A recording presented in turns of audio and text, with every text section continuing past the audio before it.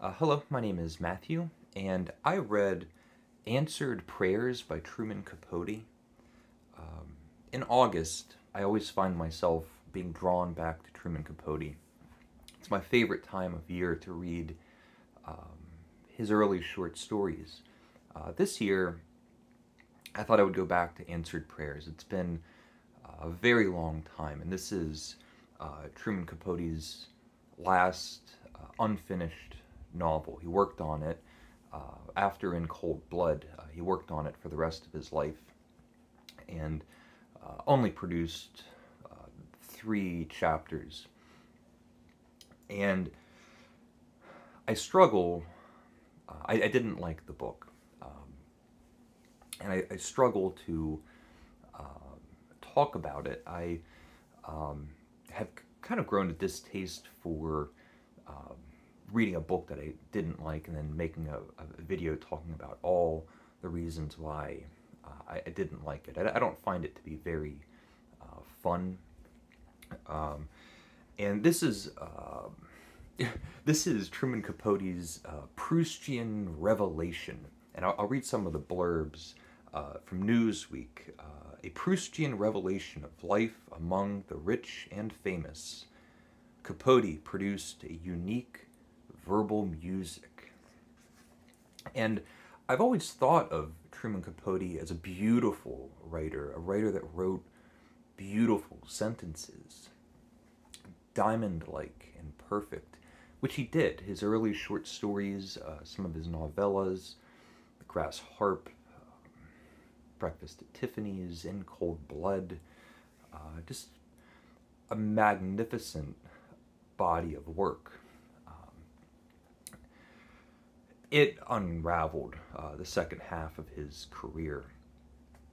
Uh, the back, uh, a gift from an unbridled genius, exciting, irresistible, should be cherished as top flight work from a master. It's the Los Angeles Book Review. Uh, prose that makes the heart sing and the narrative fly. Inspired. The New York Times Book Review. And this is um, much like uh, Remembrance of Things Past.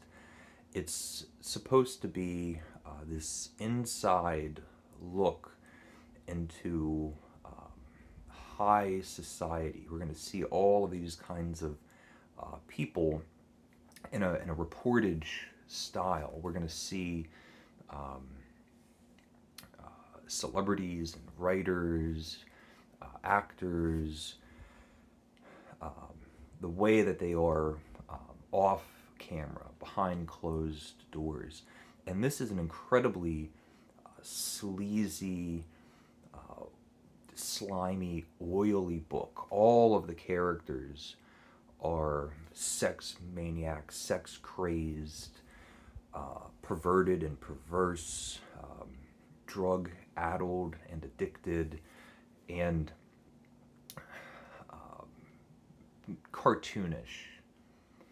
And unlike Remembrance of Things Past, which uh, does give you an inside look into a whole um, rung of societies, um, it offers so much more. There's psychological insight, there's uh, digressions on uh, art, and literature, and architecture, and uh, history,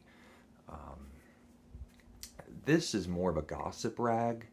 It reminds me, and it, apparently when the chapters were published, it was scandalous. Um, there were um, uh, dozens of people, uh, the those circles around uh, Capote's uh, social network, um, either seeing uh, versions of themselves or um, uh, themselves uh, by name in, in the book. And uh, everyone's put in a poor light.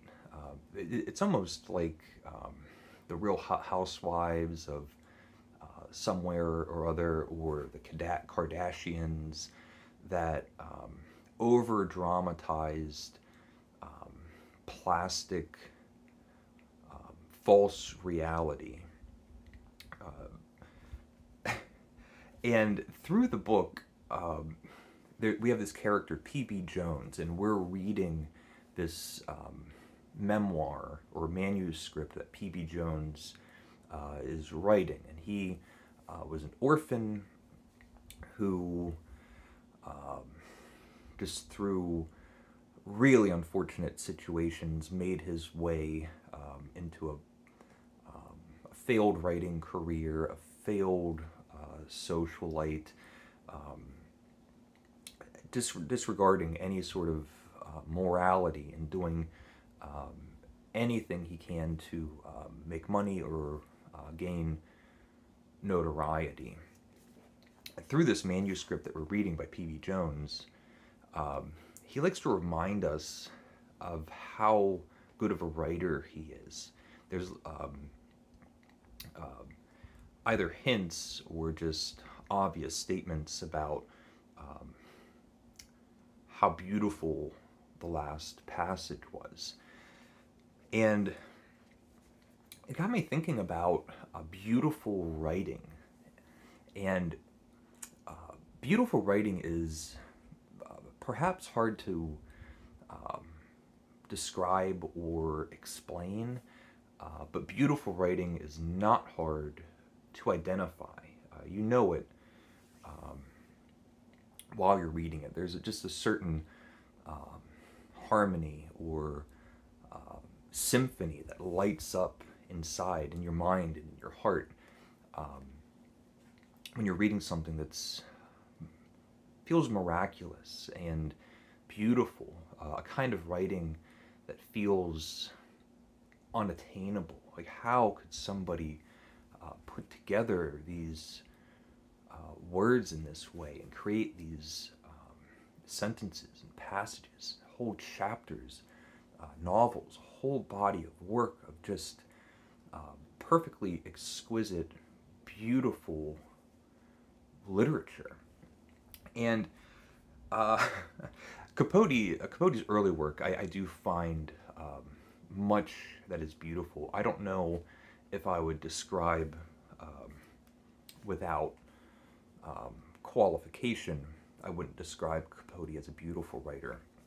So I thought I would talk about some of my um, favorite uh, writers or writers that I, I, think were beautiful writers. Um, and for the English language, uh, there's two that just immediately come to mind. They're, they're the writers that I think are the most beautiful writers in the English language, and that is John Keats and Virginia Woolf. And I thought I would read some passages. Um, and I was thinking about that uh, tag or prompt called the um, page 112 prompt. And it's an idea of getting a representative um, taste of a book or a writer where you, randomly 112 is picked. You go to that page and you just get uh, a sampling out of context of um, how well the writer uh, is doing their job. And at first I thought it was just laziness instead of going through and um, trying to find uh, specific passages that uh, sing in my ears. Uh, but I do think it's a much more persuasive argument to randomly select a passage um, to show that any old page you pick, uh, you will find uh, magnificence and beauty. So, for Mrs. Dalloway by Virginia Woolf, it's one of the copies that I have. Just go to 100, uh, page 112.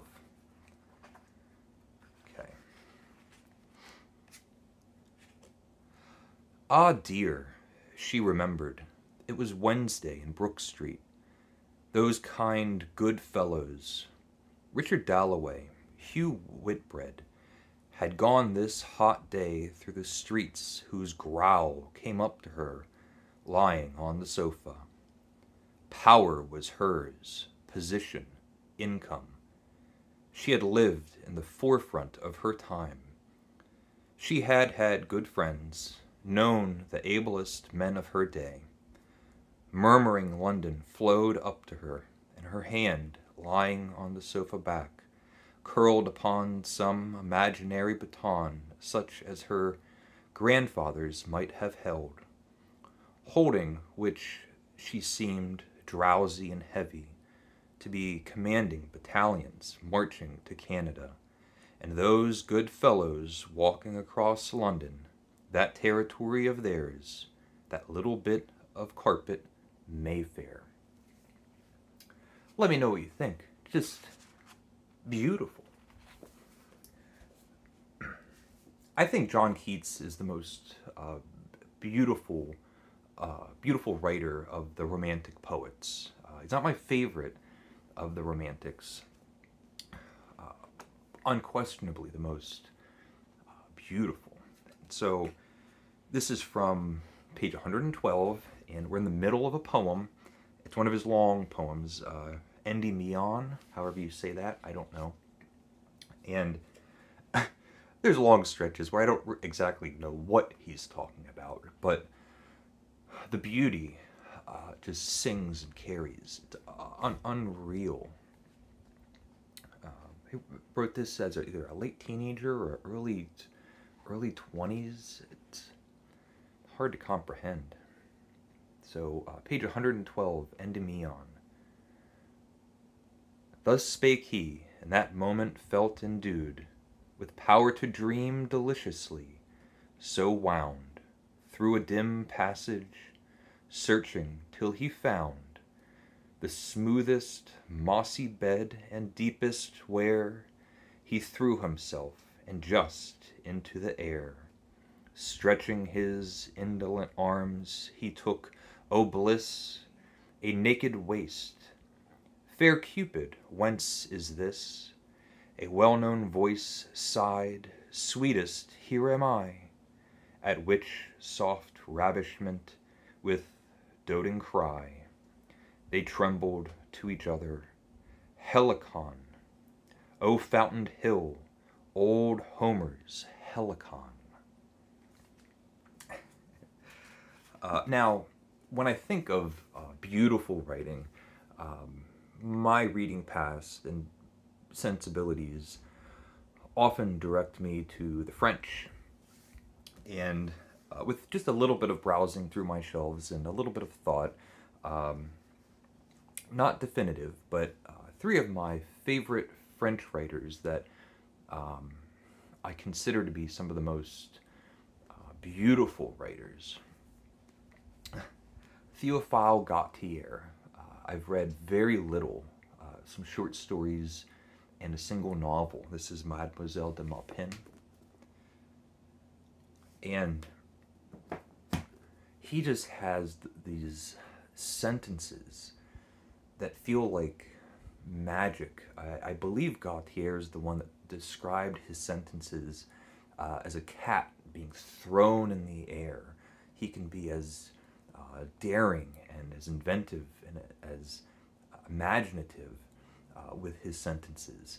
And they all have the uh, natural instinct um, to turn around in the air like a cat and land on all four legs. So his sentences, no matter how he throws them, uh, always stick the landing. And uh, so this is Mademoiselle de Maupin by Theophile Gautier, and we'll go to page 112 and read without context. And it's beautiful. Happiness is undeniably pink and white. It has to be painted in those colors. It demands pastel shades. On its palette are sea green, sky blue, and straw yellow. Its pictures are all light colored, like those of the Chinese painters. Flowers, light, perfumes, the, the touch of a soft and silky skin, a faint music coming from who knows where. These make for perfect happiness.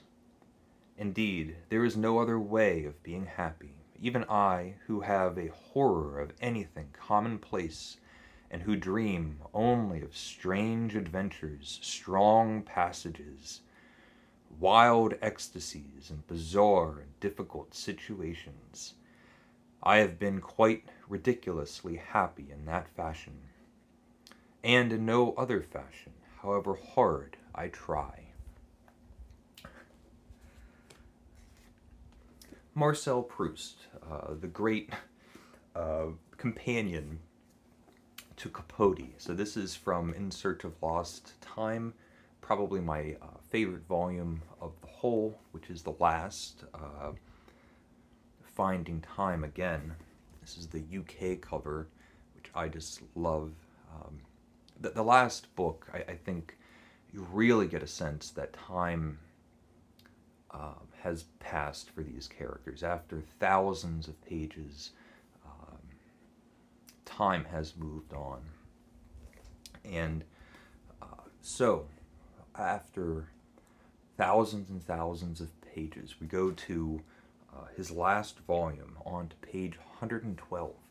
And think about, I, th- I think about the endurance, the calisthenics to produce a certain level of quality writing, but beautiful writing uh, that I really think signifies uh, what makes so much of um, what makes so much of great literature, which is um, a unique and honest voice. Uh, this is um, a really good representation of uh, a writer's mind on the page. So, 112 of Finding Time Again, uh, the sixth book in In Search of Lost Time by Marcel Proust. Of course, I was familiar with the naive or feigned credulity of people who love someone, or simply fail to be invited to someone's house, and impute to the other person in question a desire which, despite tiresome solicitations, he has never manifested. But from the suddenly tremulous voice in which Monsieur de Charlus uttered these words, from the uneasy look that flickered behind his eyes, I had the feeling that there was something other than ordinary instance involved here. I was not mistaken, and I will recount straightway the two facts which subsequently showed me to have been right. I anticipate myself by a number of years for the second of these, which was posterior to the death of Monsieur de Charlus. This did not occur until much later, and we shall have the opportunity of seeing him several times, considerably changed from the man we have known at a time when he had completely forgotten about Morel. As for the first time of these events, it happened only two or three years after the evening on which I thus walked down the boulevards with Monsieur de Charlus. About two years after this evening, I ran into Morel. Immediately I thought of Monsieur de Charlus, and how pleased he would be to see the violinist, the violinist again. And I pressed him to go and see him, even only once. He has been good to you, I said to, to Morel. Now he is old. He may die. You ought to put your old quarrels aside and wipe out the traces of your feud. And uh, the last um, French writer that I picked that just came to mind as a marvelous, um, uh, beautiful writer is um, uh, Francois Rene de Chateaubriand. I'm not sure if I pronounced that correctly. And this is from his memoirs, Memoirs from the Grave, uh, 1768 1800. This is the NYRB Classics, wonderful, handsome edition. And Chateaubriand lived three lives, ten lives, uh, two dozen lives worth of um, activity. He, he was uh, restless and uh, successful. He had huge successes and huge failures. Uh, he was constantly on the move and traveled widely and wrote his entire life. And uh, there's um, excitement in his life. And th- this is just an incredible uh, memoir. Um, I'm not sure how reliable it is, um, of just a, a, fascinating life. On top of that, uh, it is some of the most beautiful writing that you can uh, come across. So, um, page 112, and it's the beginning of, um, we'll say, chapter 9. Uh, and uh, here we go. Let's see. Back from Montboissier, here are the last lines I shall write in my hermitage. I have to abandon it all, even the handsome saplings in their close set rows, which were already beginning to hide and crown their father. I will no longer see the magnolia that promised its flower to the grave of my Floridian girl the Jerusalem pine, the Lebanese cedar dedicated to the memory of Saint Jerome, the laurel from Granada, the plane tree from Greece, the Armorican oak at the foot of which I depicted Bianca, sang of Cymodocée, invented Velléda. These trees were born and grew up together with my dreams they were their hamadryads. Now they are about to pass under another's sway. Will their new master love them as I have loved them? He will let them rot. Maybe he will cut them down. I can keep nothing on this earth. In saying goodbye to the woods of Aulnay, I shall recall the goodbye I said to the woods of Combourg.